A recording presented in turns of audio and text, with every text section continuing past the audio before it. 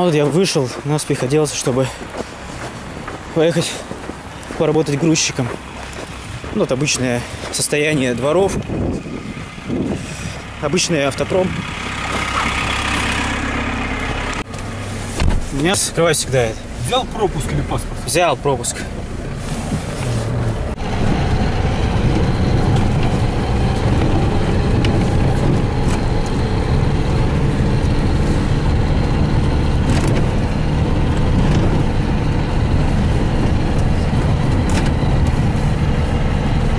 Дома его хранить, чтобы машину не заводить. Ага. А сегодня вот видишь. Я вчера отказался от трех заявок. Из-за того, что не завелась машина Что холоде. холодно. Ну, из-за того, что машина не завелась. Нет, я с- снял вообще аккумулятор и унес, чтобы, ее, чтобы машину не дрочить на морозе.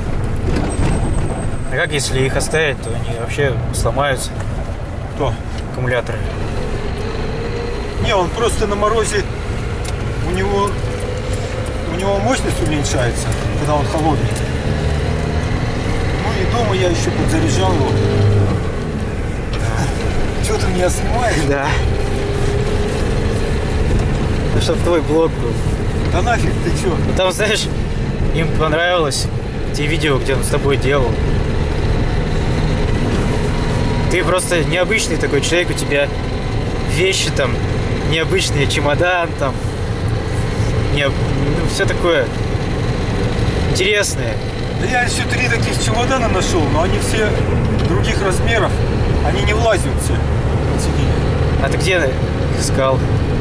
Ну где вот их же бывает выкидывают. Это же раньше у всех такие чемоданы были.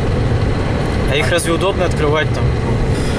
Нет, ну, его не- он что неудобный, он, он какой был, есть большой, такой он и остается. Сумка, она, ты из нее вещи вытащил, сумка раз, маленькой делается. А чемодан он так и остается чемоданом. Ну, Видимо, никто больше так не делает, как ты, поэтому это вызвало такой интерес. Никто такие чемоданы не использует. Еще лопата там у тебя была какая-то. Нет, ну так, А если она выпадет? она там за- закручена, прикручена. Мне вот все время было интересно, почему не сделают какие-то такие стекла, которые защищают от ну, попад- солнца, глаза светят. Так это Чё- ладно, солнце. А когда едешь ночью, встречные машины едут, едут, они же в глаза светят. Все.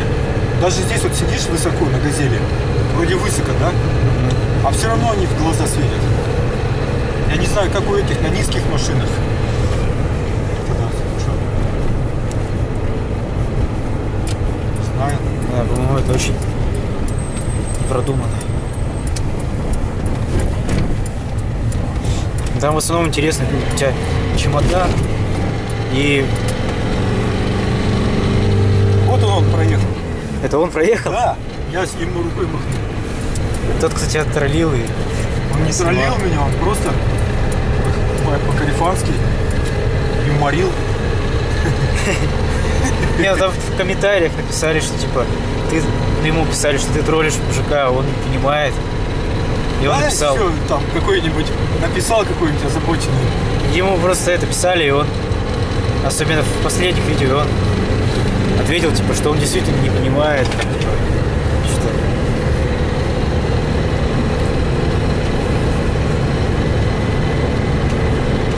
Хотя вот его троллить как раз больше вариантов, потому что у него там ну, голос такой, как у Шуры Каретного.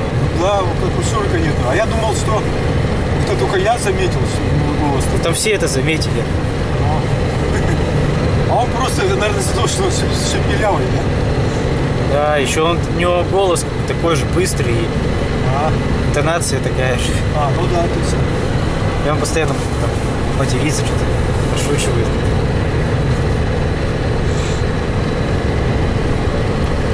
Но вот если бы он в твой дом пришел, то бы, особенно раньше, он бы тоже нашел много чего, над чем там потр- потроллить. То есть там, например, эти, чего стоят только ну там холодильники советские старые, с- причем на- наполненные всяким вообще всякой жести или эти для пчел там или соты.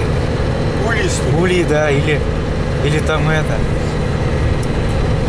Вообще там у тебя раньше какие-то мухоморы ты там выращивал, что там. И эксперименты ставил, это же вообще просто. Это, это на самом деле твоя индивидуальность, уникальность. Ты вот это как знаешь, вот классические поэты там, русские 19 века, они там писали, что русские мужики там, они типа уникальные, там, интересные, у них там, они, у них свой какой-то самобытность есть там.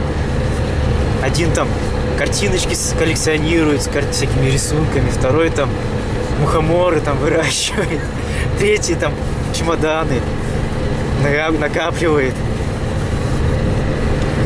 Нет, чемодан-то этот удобный. Его под сиденье чуть задвигаешь.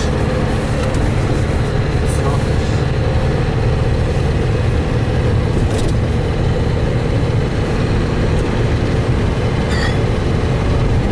Хотел заводить машину вообще, а потом позвонил ну, товарищ, которому надо перевозить сюда.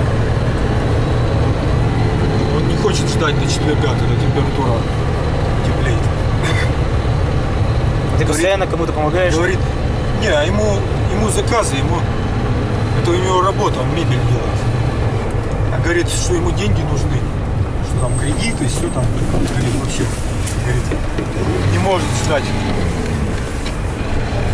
Ну я пошел заводить, аккумулятор понес ставить, заводить. И в это время мне звонят еще заявка.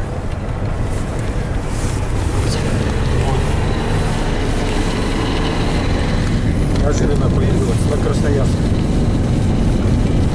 Неудобно этот ремень пристегивать. Неудобно, да, она Очень неудобно. Надо сделать что-то, чтобы она туда не уходила. А я вообще вот удивлялся, что ты так много тратишь.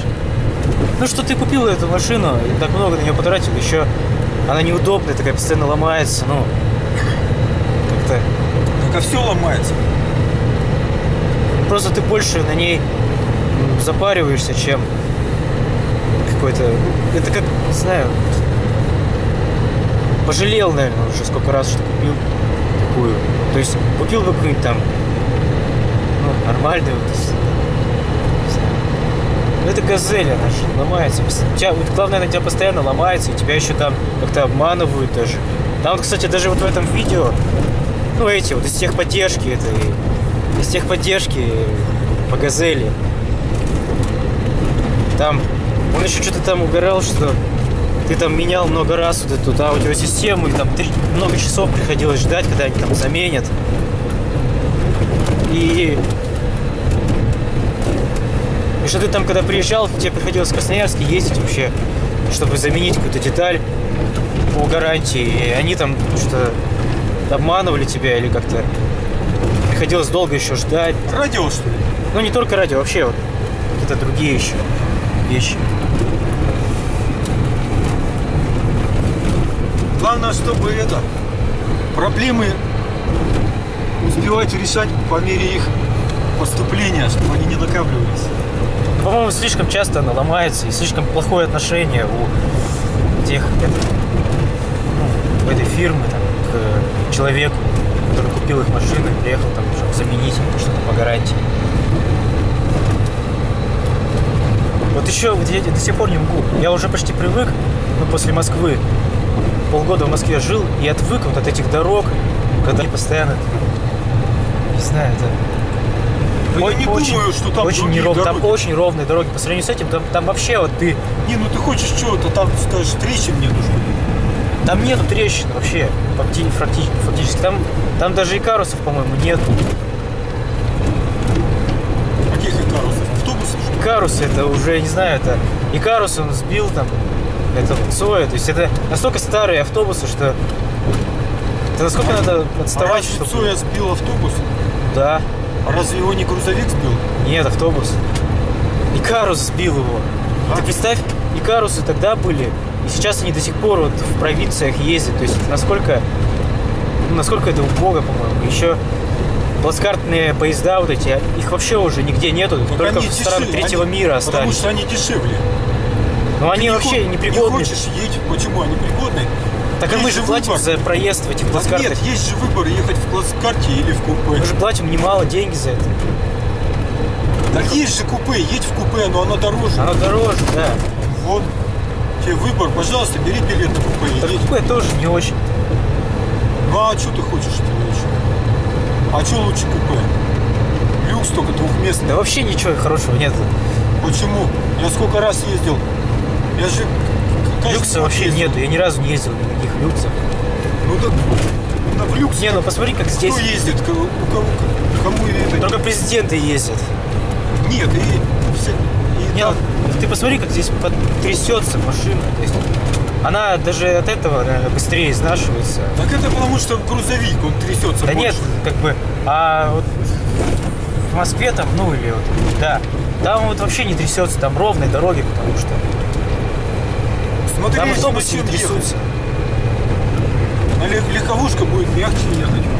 Ну, не настолько мягче, все У равно трясется. рессор, у. То есть я вот до сих пор не могу привыкнуть. То есть я уже наполовину привык, но ну, скоро опять привыкну, конечно. Ко всему привыкаешь, но это вообще ненормально, то, что так трясется. И вот везде, кроме Москвы, вот в России, такие дороги ужасные. А ты, ну, все здесь, кто живут, они не замечают это. Там в Москве и просто тротуары там для пешеходов ровные.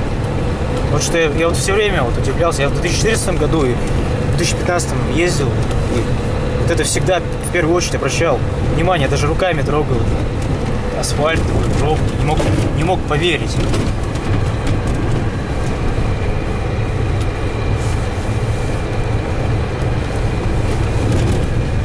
Ты говоришь, ну был я в Москве, ну и что? Ничего такого. Ну, что он там рассказывает? А вот он, главное, вот этот мужик, который тебя снимал, он с- там с другими. Ну, я видел у него там самое популярное видео с каким-то там его другим другом, Калином или кем-то. Он, главное, по-моему, его там не троллил, ничего не, не шутил, нормально, бесравно разговаривал. Как-то мне это показалось как-то как, ну, несправедливо, что с тобой так... Но он типа там, я не знаю, у тебя действительно такие необычные там...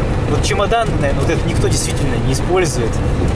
Так ты его еще попробуй найти такой чемодан. Так и никто даже и не в голову Я, не короче, приходило искать. Я его как только увидел, на рынке продают там какие-то, знаешь, ну всякие эти ал- алкаши приносят вот эти из дома инструменты всякие вот эти пропивают, на рынок приносят, отдают там, там сидят такие люди, которые торгуют от этих от А. алкашей забирают все.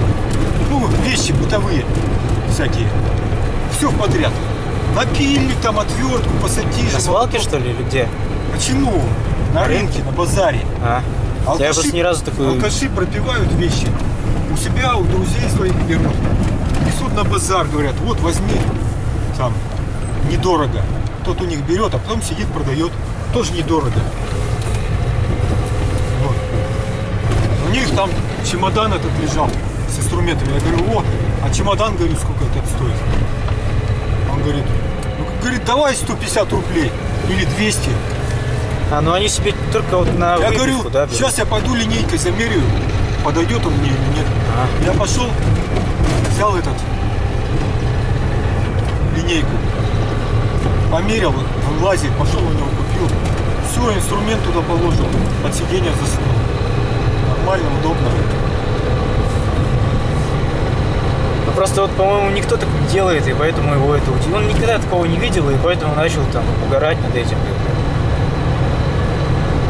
Ну, а что вот он использует вместо вот этого чемодана? Какой-то я... Он там говорил, что там какие-то фирменные импортные ящики покупает, или что там. А, он еще там угорал над тем, что ты, типа, до этого ящик из-под фруктов использовал. А? Но он это ломается, он пластмассовый. Его засовываешь, высовываешь, и он это трескается. Ну, короче, у меня сломался. Я потом другой засунул, тот сломался. А вот этот нашел, он покрепче. Хорошо.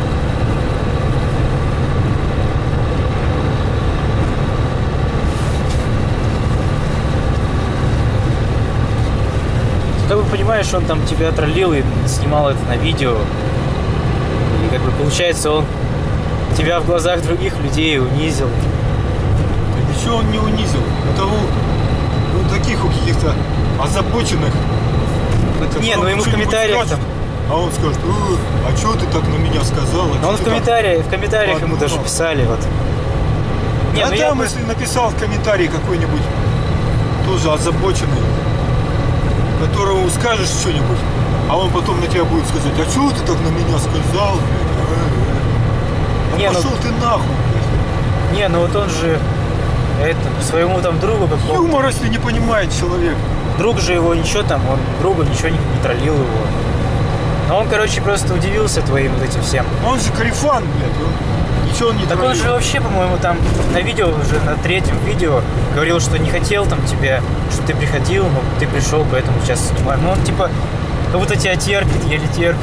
Да что ты, ты вообще какую-то хрень несешь. Не, ну я просто вот Вообще впечатление. извратил, ты извратил. Или эти какие-то там в комментариях кто-то Ну хорошо, извратил. ладно. Ну и пошел он нахуй. Не, ну просто... Ну ладно, Просто ну ладно, короче. веселый разговор такой карифанский. Посмеялись, пошутили. Ты, короче, этот, ну ты можешь, кто-то, кто-то из этого целую проблему создал.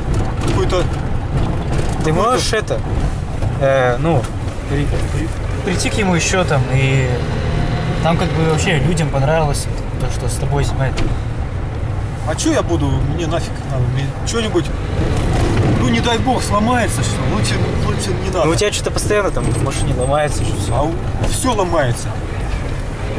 Вот я раньше, когда мы были маленькие, мы ездили на велосипеде, на велосипедах все время. Ну, они у нас все время ломались. И мы всегда смотрели на машины, когда ездят. Ну, машины.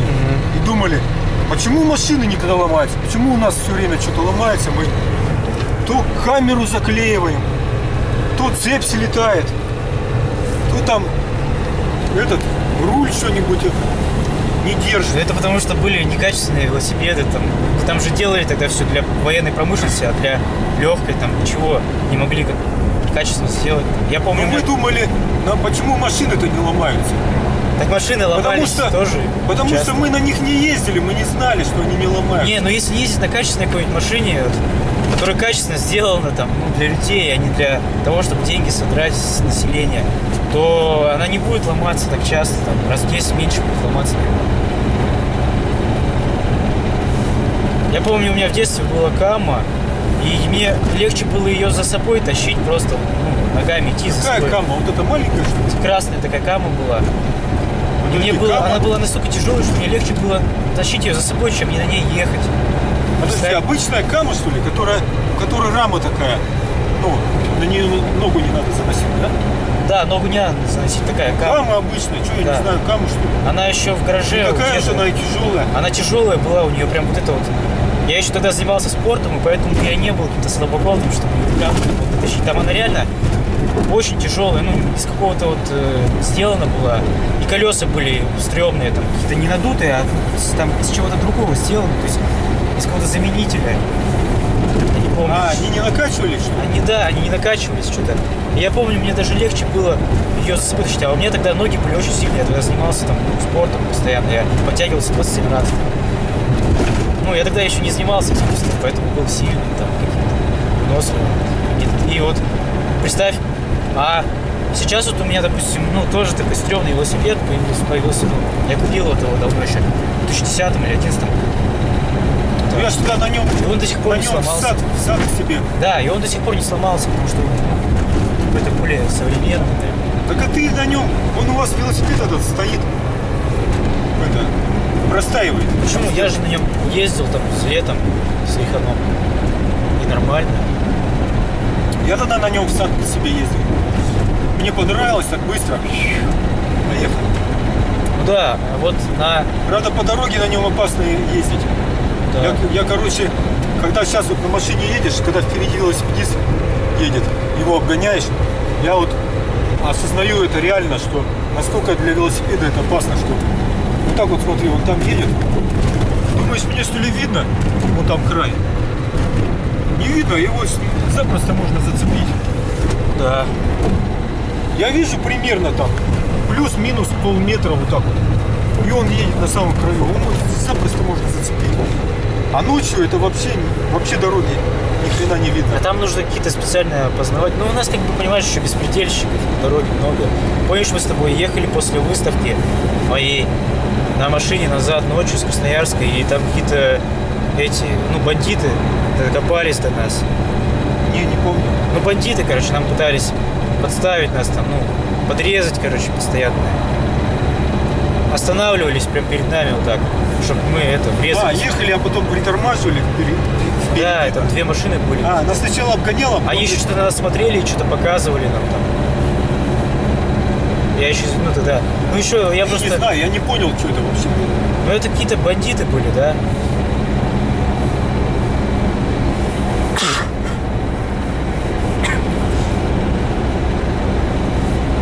А может они, не, ну, ну вряд ли это какие-то люди, которые помощь хотели попросить. Да? Не знаю, я вообще не. Вот что-то нездоровое происходило.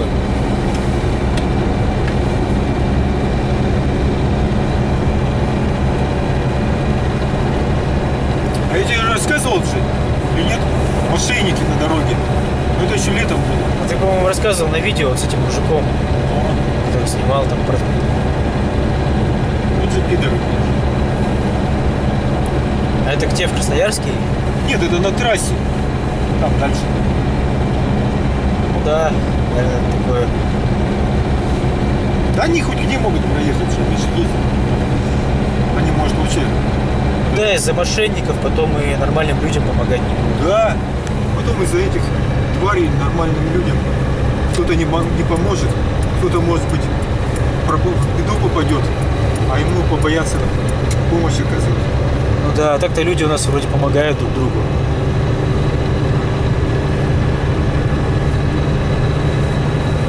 Подожди, это же Сосновоборск? Это Сосновоборск. А я думал, мы уже Смотри, проехали. видишь, вот какая это. дорога? Ну сейчас как бы получше стала дорога.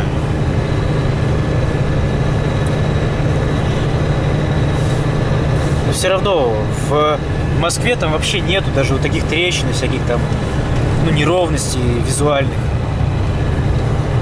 Даже под Москвой.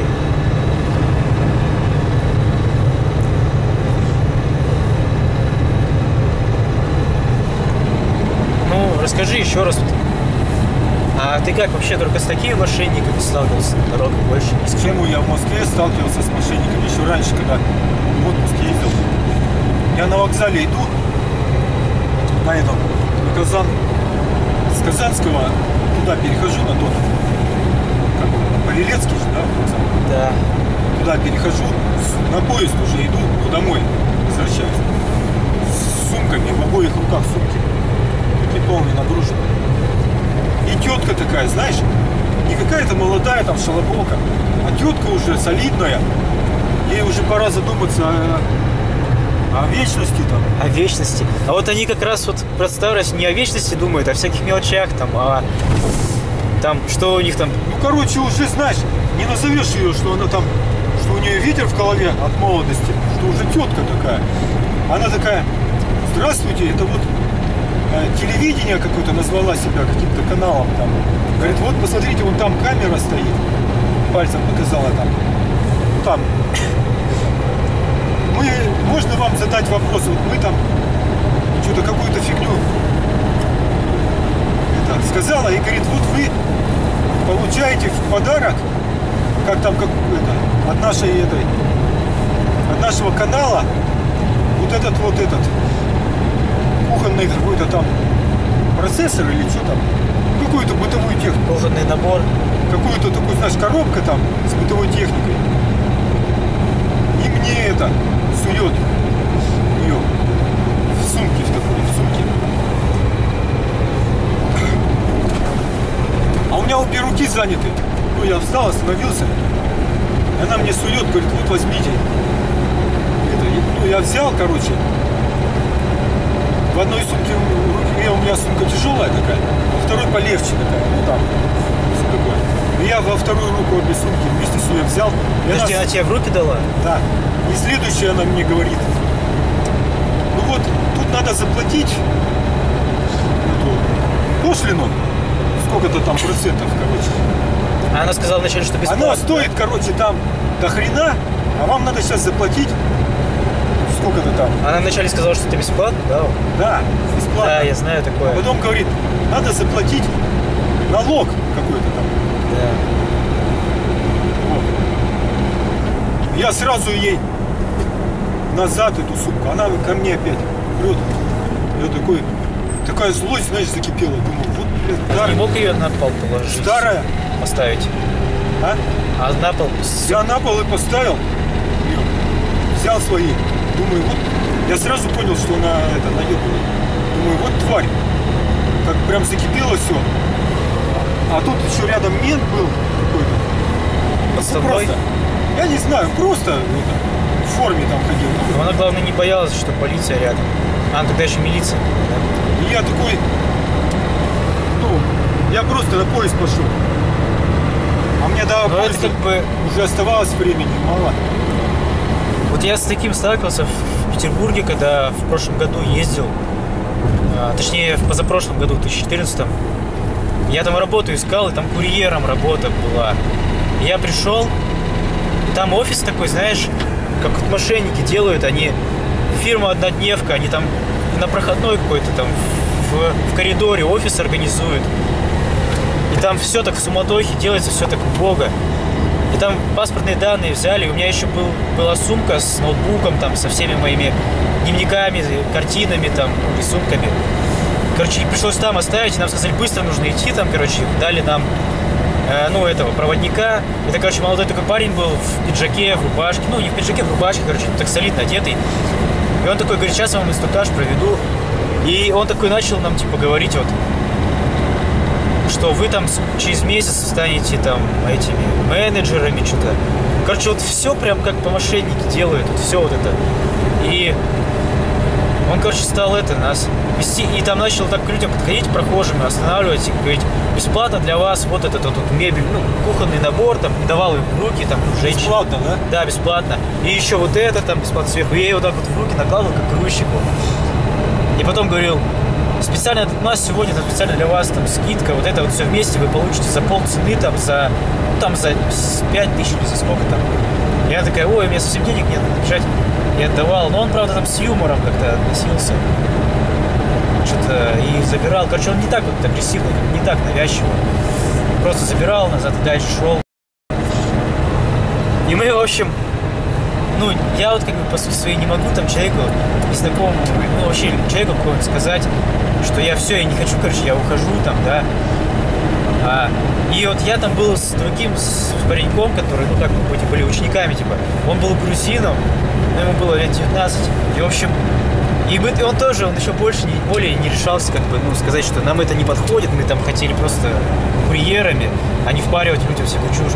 И мы такие, я такой его, давай, говорит, давай сейчас вот он за угол зайдет, мы просто развернемся и пойдем назад. Я еще беспокоился, что у меня там могли украсть мой ноутбук там, и все, что я оставил. И документы там еще были. И, короче, мы долго не решались, он вот за угол такой заходит, и мы такие, все, и побежали назад. Побежали? И как давай, короче, угорать. Ну, я не знаю, какая радость такая на душе стала, что мы от него отделались, типа, что нам не придется весь день там с ним ходить. И, короче, я потом боялся, что там приду, а там не будут отдавать мои вещи. И он еще им сообщит там по телефону, что эти там сбежали. И, в общем, мы пришли, и там там причем мои сумки стояла просто на стуле, ее мог кто угодно мог взять, забрать, никто даже ее не охранял. И, в общем, и повезло, что забрали просто. Я там еще на двери написал, ну, бумажку наклеил, что здесь как бы обманывают. И там еще некоторые люди заходили, я им говорил, что они спрашивают, скажите, здесь правда ли это? Ну, по-настоящему дают работу. Я сказал, нет. И они сказали спасибо, и ушли. Короче, и там очень много людей обманывают. В Петербурге вот, в 2014 году это просто очень много. И особенность, первая самая особенность вот этих вот фирм, где обманывают, это то, что они грубо тебе ответить могут. Там. Ты, начнешь, например, нормальные фирмы, они будут спокойно объяснять, как пройти там до их фирм, да, новичку. Или спокойно объяснять там нюансы работы, там, вопросы. А тут они, короче, нетерпимо, с нетерпимостью грубо отвечают, типа, вот сами придите там узнать. Или там, ну, короче, с грубостью, да. И вот я сразу понял, что вот там, где грубо отвечают, там, короче, вот у них э, фирма Доневка, и там вот мошенники. Это первый признак, то есть надо сразу отказываться. Но по психологии, как бы, такой, ну, рабской психологии, э, человек, он думает, что если вот ему грубят, то это значит, что это сильный человек, и что надо подчиниться, да, вот как-то так. У меня тоже вначале так было. И не только у меня, у всех. Вот. А в Москве, по-моему, сейчас уже такого нету прям настолько. Потом в 2015 году я уже нашел работу в Москве, ну, всем разнорабочим. стоял прилавок такой по улице, и там семена разложены. И там какой-то институт, как же, Рам, подожди, не Владивостокский, а какой-то Хабаровский институт имени Эндельмана какого-то, или Эндельштейна был написан. И там, короче, они вывели семена, гибриды впервые, короче, в мире. Гибриды, там, короче, скрестили малину с земляникой, ежевику там, с земляникой, с клубникой, короче, вот такие вот гибриды. И там такие фотографии, значит, там нарисовано, например, ягоды вот такие, вот такие крупные, вот такие. Земляники фиолетового цвета, и красные, и фиолетовые, фотошопе подрисовали. желтые. Вообще так смотрит. А там как прям человек держит, что ли, их? Руке. Я не помню. Ну, короче, сделаны хорошо, красиво прям. Потом малина такая, на которой растут вот такие вот ягоды крупные, земляничные, гибрид малины с земляникой. Вот такие ягоды висят. Представляешь? Вот здоровые такие. Да. И разных сортов. Я, короче, купил такие семена, и такие, и такие. Они так, знаешь, так торговатенько Думал в огороде вырастить.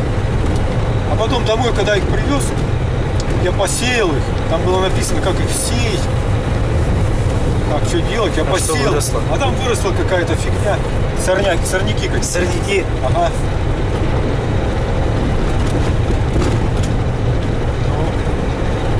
И вот у них я тогда думал, вот был бы у меня фотоаппарат, я бы их хотя бы снял бы. Вот так, перед тем, как покупать, сказал, можно я вас сниму, если вы окажется, что вы меня найдете, я потом ваши рожи куда-нибудь в эти, ну, буду расклеивать везде, в городе, да, просто по улицам. И где-нибудь в журнал какой-нибудь напишу, в газету, там пошлю. Так там прям были люди, которые сами вот это продавали, или это они откуда-то купили. Люди продавали. Так они, знаешь, что дело в том, что они говорили? Там Там медитационно продавали, что? Нет. Просто тетка какая-то еще какой-то мужик или две тетки, я уж не помню. И они говорили, вот, я в прошлом году у себя в саду посадила.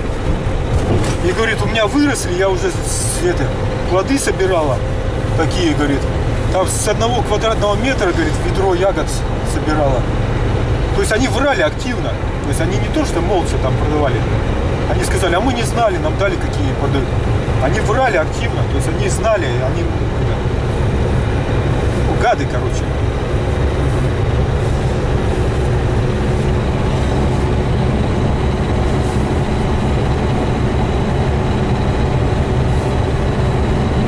И Я вот, знаешь, заметил, и я еще также в Москве у других уже покупал саженцы малины. Там две девки молодые продавали. И они говор- тоже там были. Они говорили, что ягоды размером 5 сантиметров. Такие 5 сантиметров малина. Девки эти говорили. А это оказалось просто, я не знаю, где-то вот так накопали. В лесу, может быть, это. Там вообще мелкая вот такая малина выросла. Короче, я ее потом выкорчил. В лесу, да. Выбросил. Нет, чтобы хотя бы обычную малину подсунуть там. Да, то есть они вообще, видать, сорняки какие-то. Я их выбросил потом. Вот. И вот я, знаешь, заметил, не знаю, вот это надо тренироваться. Но вот когда она говорила, я запомнил ее выражение лица. Какое? Какое-то характерное, не знаю, как это так описать. Ну просто вот. Чрезмерно правильно, ну как, чрезмерно спокойно, да? Я, я вообще не знаю. Вот эти мошенники, кстати, они, знаешь, они чрезмерно спокойны. Вот, вот кстати, мошенника можно или какого-то, ну, а, подозрительное лицо можно определить, вот если он не, ну, чрезмерно спокойно. Вот, вот нормальный человек, он, если ему там... Вот я вот помню, в московском вокзале в 2014 или каком, да, полиции, ну, охранникам сказал, что там человек ну, неадекватный. Для меня странно. Ну, и он вел себя, как будто он какой-то был, ну, под наркотиком, в общем. И я им сказал, и они под, ну, подошли и даже ну, не стали ничего делать. Я просто сказал, вот этот человек неадекватный. И он, вот, главное, ноль внимания на это. То есть вот, нормальный человек, он бы обернулся хотя бы, да? А вот этот ноль внимания. И вот я еще до этого сталкивался, когда из Петербурга в Москву ехал, там а, одного, короче, преступника пытались, ну, задержали, в общем, и всех проверяли. И он там сидел, как бы, ну, вот в этой, в клетке, короче, временной. И он чрезмерно так спокойно и на позитиве вот так вот вел себя не так вот, как вот даже нормальный человек, он бы, если бы его так посадили, он бы, ну, был бы грустным или там чувствовал бы себя дискомфортно, да. А вот этот, короче, наоборот, там, типа, заигрывал там как-то. А он, может быть, в начале, когда его только поймали, Да нет, его не могли так долго держать. Там. он это, он, он может быть, Ну что? Он, Я не знаю, я бы там все планы ста- его нарушились. А потом он уже понял, что его уже поймали, что ему он, он уже изменить ничего не может. И он уже успокоился, уже все. Ну, нормальный человек, он бы не стал успокаиваться вот так, он бы не стал там с полицейскими там заигрывать. Короче, и вот я вот сталкивался, вот, и они реально вот чрезмерно, вот если какой-то человек, да, вот если будет подозрение, и вы увидите, что человек какой-то в тревоге, да, там как-то беспокоится, а второй человек, наоборот, чрезмерно спокойный, даже там на позитиве, как-то с юморком, то это, как, как правило, вот думает, что человек, который беспокоится, он, да, какой-то виноватый. А на самом деле всегда все наоборот, то есть. Потому что вот эти мошенники всякие, они, у них вот уже профессионально вот это спокойствие выработано и нереагирование, то есть они там чрезмерно, ненормальное, неадекватное спокойствие, то есть такое. А, потому что они уже заранее знают это вот.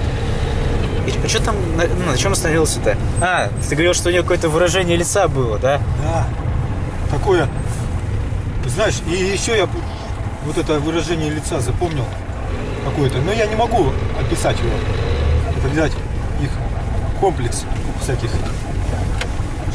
мимик там и прочего всего. всего. Она, наверное, слишком Вспомнил. активно и, и вспомнил я вот точно такое же выражение лица было.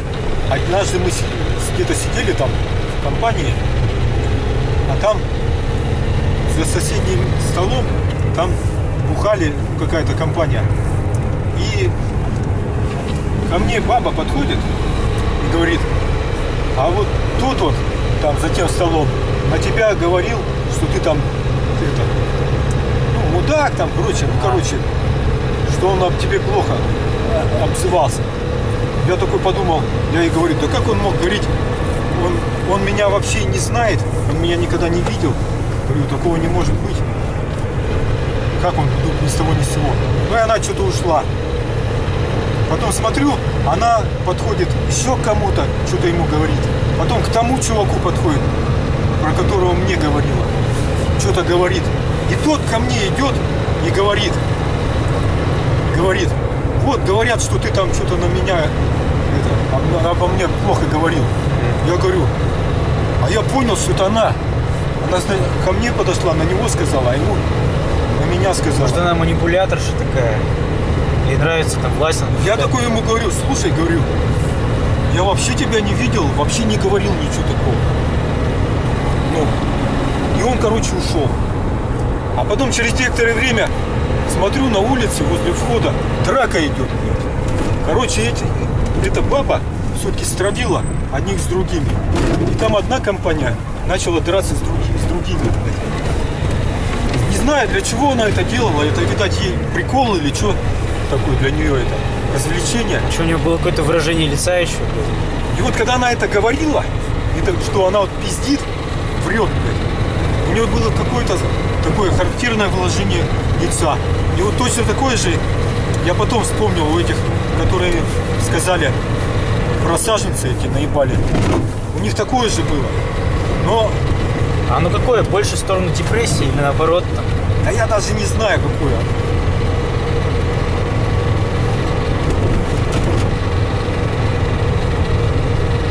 Хорошо бы вот так вот запомнить, понять это все. В следующий раз, когда кто-то так же будет что-то замышлять, что, знаешь, смотришь на него, а у него такое же выражение лица, будешь понимать.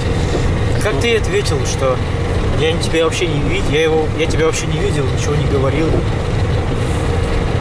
Ну, представляешь, подходит какой-то, говорит, вот мне сказали, что ты на меня наезжал, что-то говорил про меня какую-то хуйню. Я говорю, как ты что? Я тебя вообще первый раз вижу. Я про тебя вообще ничего не мог говорить. Успокоил его, и он ушел. А ты, то есть, вот я когда он- понял, что это... А я ему и сказал, говорю, она также, говорю, ко мне подходила, говорю, и про, про тебя говорила. Говорю, вот эта баба, говорю, ходила. Потом говорю, А ты как вот, только после того, как он подошел, понял, что она стравливает? да, да, понял. А я вот это, я бы сразу понял, наверное, еще до того, как... Нет, а просто она там ходила, к одним подходила, к другим. А что она там говорит, я не знаю. А только после того, как он ко мне подошел, я уже понял. Почему она вот именно к тебе подошла? Она же не должна ко- не была только ко мне, ко выбирать всем. самых таких бычковатых, там, Она ко всем подходила. ко всем. Да, я же говорю, говорю тебе. И Потом главное, она- вот ей ничего не сделали, да? Да. Они вообще просто со стороны смотрели, для них это развлечение было.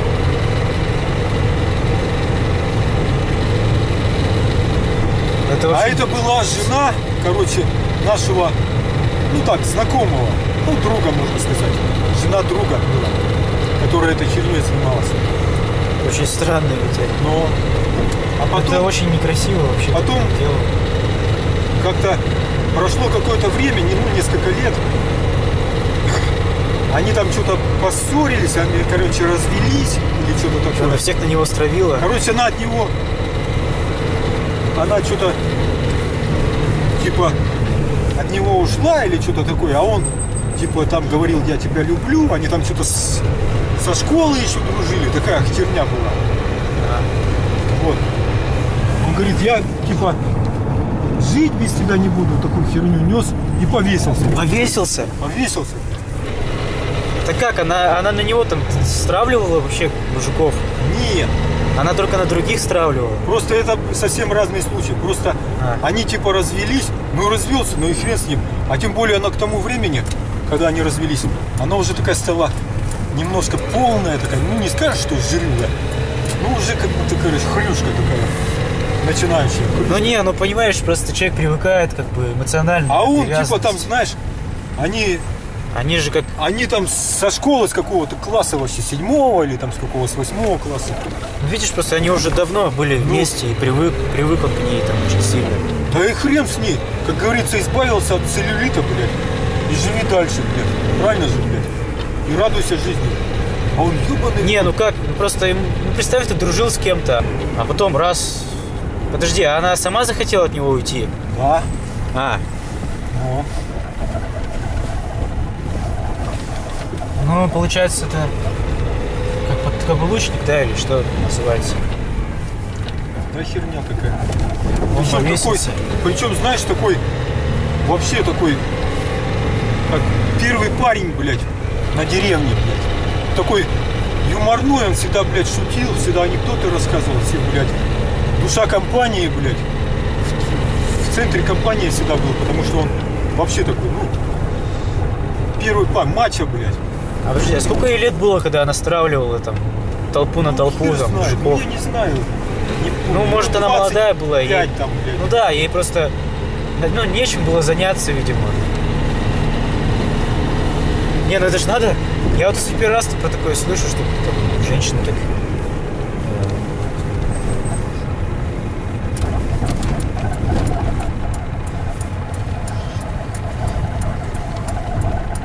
А ты еще вот книжки всякие покупал про как распознать манипуляцию, да, там что-то такое. Ну,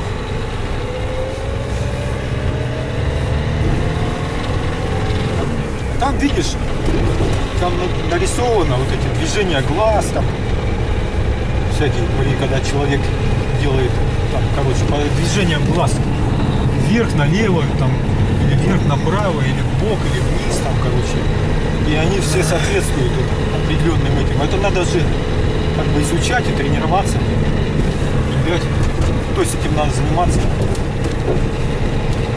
Не знаю, обычно вот когда человеку в глаза кто-то смотрит, то он, ну, ему дискомфортно немножко становится, он может начать там глазами там. А вот застенчивый человек, он вообще просто в люб- при любом там, ну, когда правду говорит, он тоже волнуется, понимаешь? Вот у меня было такое, что там некоторые, наверное, думали, что я там что-то обманываю, хотя я просто, ну, я просто с незнакомыми людьми мне, ну, это интровертность называется. Ты как бы волнуешься как бы просто. Или даже Ну, когда ты сам, быть. сам что-нибудь говоришь, вот можешь, даже если перед зеркалом будешь говорить, все равно будешь волноваться, и они будут, ну, может казаться, что это человек обманывает, хотя на самом деле это просто Может тип, тип характера такой, как тип. Меня тут гаишники штрафовали за пешеходов, что их не А тут же нету пешеходного перехода. Вот, есть, сбоку, видишь, знак стоит. Ну тут же не нарисован на. Знак стоит. Но она на это. А что его рисовать, если снегом сверху засыпет? Летом, может быть, и был нарисован. Тут Стер- постоянно автомобили ездят. стерся. А помнишь, мы сюда приехали, чтобы погрузить, а там нас Да, обманули? помню, вот сюда мы приехали. Да. Это улица 26 Бакинских комиссаров. Ты там хоть бань телефон, где обманываешь, чтобы мне снова не позвонили. Я, да, я его отметил как мудила списка. У меня, правда, сейчас я уже запутался, кто из них кто. У меня мудила, халява там есть. Халява пенсионер, жулик, Жулик. жулик, потом Так ты можешь там... скользкий или склизкий. Сколько? Так ты можешь там мудила 2, мудила 10, там, Ну, так. Скользкий, хлипкий.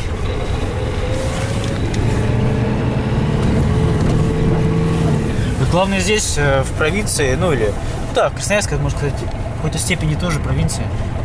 Тут, тут автомобили встречаются, вот такие ретро-автомобили, там, которые уже очень устарели. Каких в Москве там, наверное, даже не встречается. Здесь их раз в 10 больше.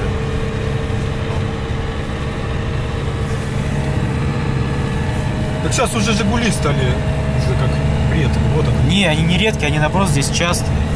А в Москве их нету, по-моему, даже фактически. Но архитектура домов здесь такая же, как и в Москве.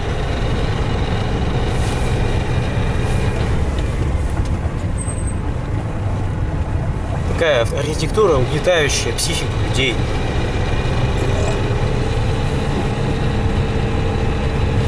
Вот тебе не нравится архитектура в деревне живи. Не, ну в деревне там Там одноэтажные Там дома. вообще, там, ну я же как художник, а в деревне там нечего художнику делать. толком. Там не порисуешь, еще холодно в основном.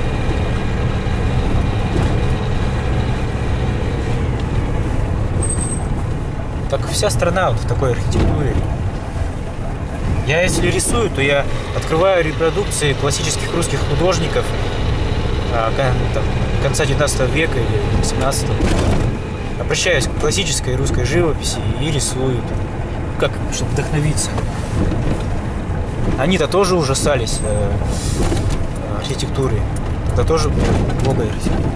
Ну, не, не настолько, конечно, как сейчас. Тогда даже, тогда, тогда- тогда даже лучше было. А в этих в поездах ты сталкивался с мошенниками? Поезд на Красноярск-Москва. Так, в поездах, по-моему, не сталкивался.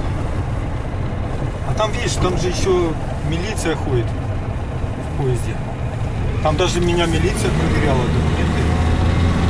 Я их засунул в потайной карман в трусы. И вытаскивал при них оттуда пакетик целлофановый, разворачивал, блядь, ему отдавал, Ну блядь. они Представляешь, ему западло брать из трусов, блядь. Они смеялись. Нет, они не смеялись. Я просто сидел в купе, они так проходили, там дверца была приоткрыта. Они такие раз, остановились. Говорят, а можно ваш документ? Не, а как они по документам, что ли, определят, мошенник или нет? Нет, просто проверяли документы и все. Так они ничего не делают, если там мошенники были, они вам ничего не сделали. Я помню, что-то 2000-х там карточные игры были какие-то, ну, на деньги там, распространены. Да, есть которые. Вообще, правило такое существует для поезда. С незнакомыми людьми не заводить в поезде никаких, никаких незнакомств, ничего. Это самое главное правило. Как правило, вот эти мошенники, они а, упрекают ну, нормального человека в том, что он не заводит с ними знакомств, не Правильно, а как же Бесед- они, Как же они будут тебя наебывать, если ты не будешь с ними в карты играть, не будешь с ними бухать не станешь. Ну вот, и человеку тяжело Если ты психологически. тобой просто лежишь, я вот в поезде, когда ездил, я брал с собой книжку или в окошко сидел, смотрел полдороги. Потом надоест, книжку почитаешь, потом снова в окошко посмотришь. Едешь себе, любуешься на пейзажи. Потом надоело, лег, почитал книжку. Потом снова. А, а некоторые там сидят тут же, говорят, да, блядь, скучно ехать три дня, да надо чем-то, да, да давайте бухнем там, да еще что-нибудь. Да садись, давай чаю выпьем, блядь. Да на возьми, я тебя это, кофе, сейчас тебе угощаю. Бывает навязчивые. А они могут подсыпать что-нибудь в кофе? Ну, могут, да. А, у меня, а мне ничего не могли подсыпать. У меня все с собой было. Я даже стакан не брал у проводника. А я помню, взял стакан у проводника, она мне пыталась за деньги его подсунуть, а там оказалось Нет, это там не стаканы мытый стакан. бесплатно дают. Они, они бесплатно должны давать. Да, бесплатно. Бесплатно должны, она мне пыталась за деньги его подсунуть. И там оказался этот стакан не мытый после предыдущего кого-то. И там герпес какой-то я подхватил, помню. Ну а ты стакан. Это- Я его мыл кипятком, и все равно. Правильно надо было Так помыть. я мыл его кипятком, и Подожди, все равно. Подожди, сейчас надо звонить. А ты же вообще это не пьешь ни кофе, ничего уже много лет. Ни жареного ничего не ешь, соль не ешь, ни сахар, консервированного ничего.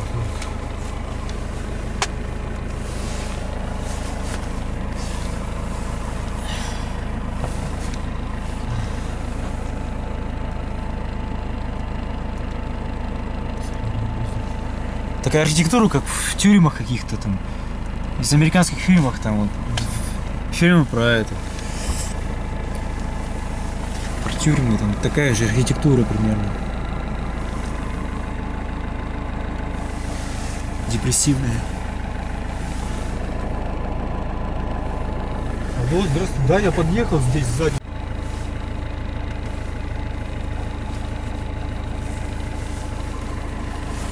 Ну, по-моему, здесь где-то были, здесь это, ты краску еще покупал. Для, для домика.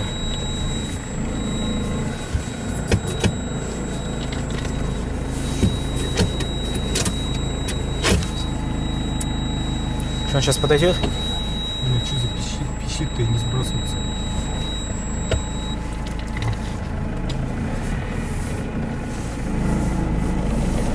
Сейчас, подожди.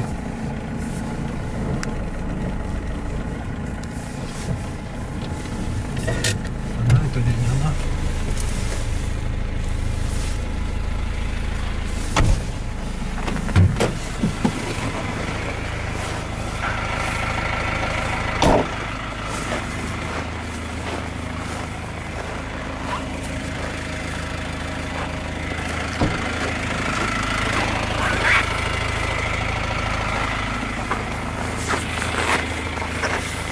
Если только один, да.